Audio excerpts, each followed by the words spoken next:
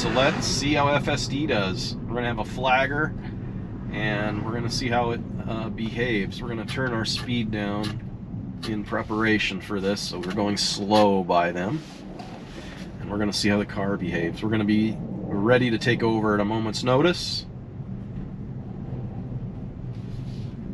But we're going to see if it can follow instructions. Okay, car. You see the ego isn't wanting to get over. Work your way over, car. All right, I'm going to take over. It really should have seen that and moved its way over.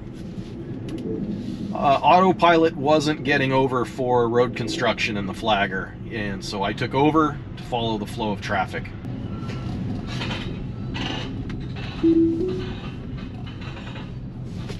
Yeah, so not ready yet for road construction.